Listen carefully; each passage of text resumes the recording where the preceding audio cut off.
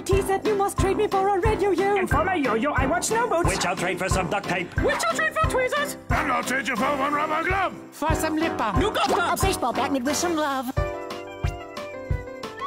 want a flashy writing pen. And trousers with some attitude. Is asking for a magic pickle meaning I am being shrewd. I shrewd? trade a magic pickle cause my head is sunburned and I really need a hat. Hat? I can do that. Hey, Chestnut, to get your hydrofoil, I'm gonna need your hat. Vacation home.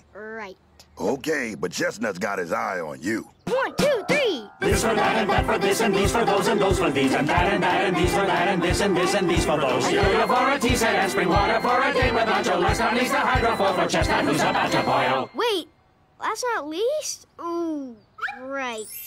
Uh, I need that hat back. Okay, but I'll need my magic pickle back. Oh, here we go again. This for that and that for this and these for those and those for these. Done again.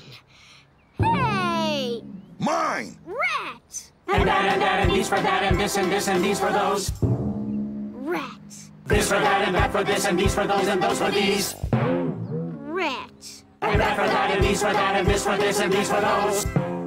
Rats. And that for that Rats. and these for that.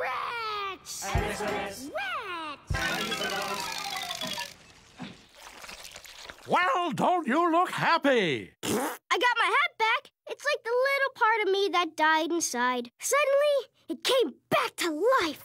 Rather, rather, rather, rather. What do you mean you're still dead inside?